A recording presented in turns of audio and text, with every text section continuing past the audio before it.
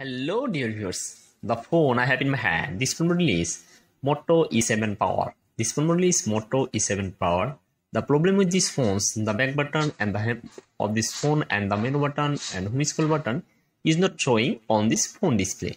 Now, today I'll show you how to show three button on this phone display and I will show you also show you today how to change the navigation bar in Moto E7 Power phone if you want to change navigation bar or show back button, home scroll button, layout button on this phone display, for this first you have to finding the option called settings.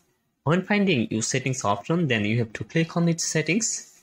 Then, uh, then after click on settings, you will see an option called search. Search on the option, you need to write system S Y S T M system. When you need when you write system, you will see an option called system navigation